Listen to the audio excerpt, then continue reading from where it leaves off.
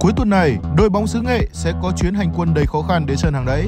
Và để có được điểm trong chuyến làm khách này thì đoàn quân của huấn luyện viên Phan Như Thuật phải có những sự thay đổi hợp lý trong lối chơi. Hà Nội FC thì ờ, tôi nghĩ là họ luôn luôn được đánh giá là một trong những đội mạnh của ờ, của giải ờ, đấu. đấu. nhưng cái thời gian thời điểm vừa rồi thì họ cũng phong độ họ cũng lên xuống. Ờ, nhưng nhưng tôi nghĩ thì ờ, Hà Nội vẫn tôi đánh giá Hà Nội vẫn là một câu lạc bộ họ mạnh của V-League hiện tại tinh thần của các cụ sông Lam Nghệ An thì vẫn các thủ rất là rất là thoải mái và tập trung. Đó, thì chúng tôi cũng sẽ xác định rồi từ xác định tất cả các cầu thủ mùa giải mùa giải năm nay chúng tôi cứ thi đấu từng trận một.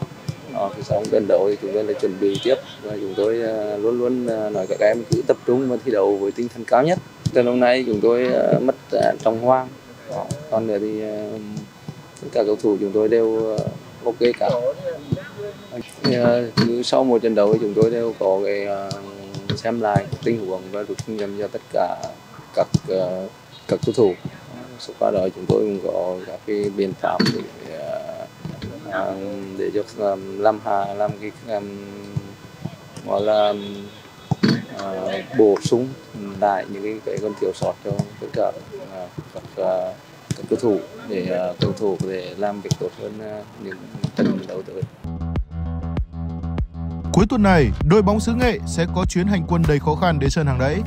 Và để có được điểm trong chuyến làm khách này thì đoàn quân của huấn luyện viên Phan Như Thuật phải có những sự thay đổi hợp lý trong lối chơi.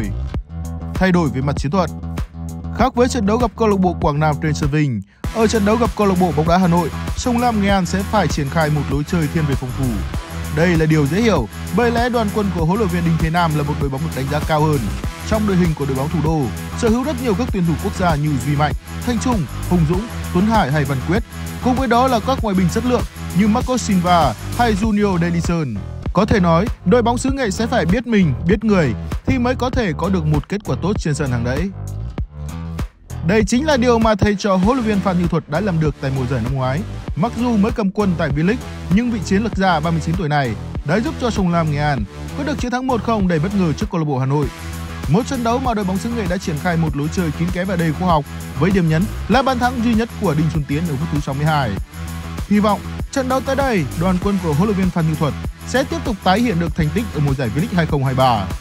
Gia cố hàng thủ có thể nói điểm đáng lo nhất của Trung Lam Nghệ An lúc này chính là hàng thủ. Những chấn thương liên tiếp của Hồ Khắc Lương hay lão tướng Nguyễn Trọng Hoàng đã khiến cho hàng thủ của đội bóng xứ Nghệ đá mỏng nay lại càng mỏng thêm. Sau 4 trận đấu, hàng thủ của Trung Lam Nghệ An đã để thủng lưới tới 9 bàn, một con số nhiều nhất tại V-League năm nay. Rất may ở trận đấu tới đây, cả Vương Văn Huy và Trần Đình Hoàng nhiều khả năng sẽ trở lại với đội hình xuất phát.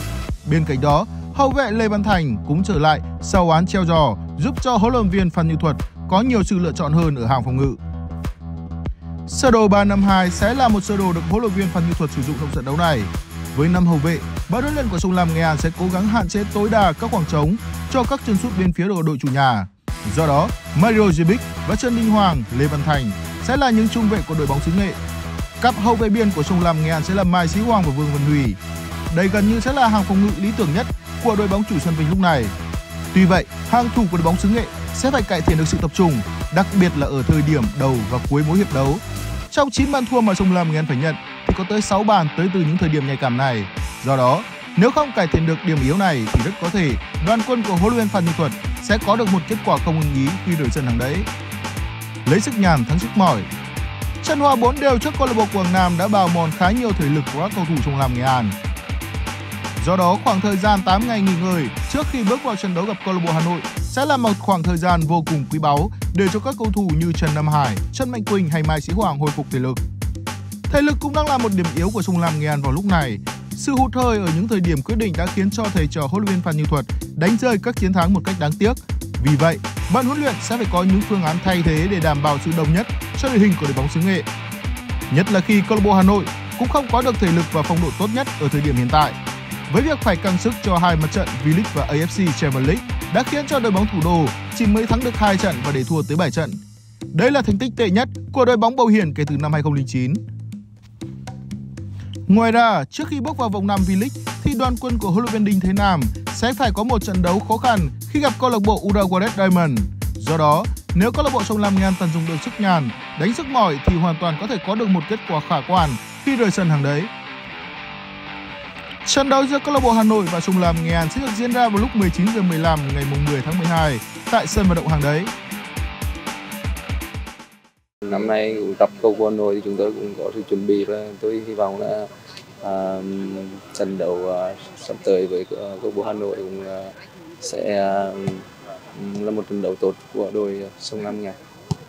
À, tôi nghĩ là cổ động viên là một nguồn lệ tinh thần rất lớn đối với tất cả tất cả các đội bóng không chỉ để ở ờ, không không không chỉ là câu bộ bóng là sông Lam Ngán tôi nghĩ là, tôi hy vọng là khán giả, những khán giả người người An, người Nghệ An ở ở câu bộ Hà Nội, ở thành phố Hà Nội cũng như ở các tỉnh phía Bắc thì hãy đến cổ vũ cho câu bộ sông Lam Ngán trận đấu với câu bộ Hà Nội.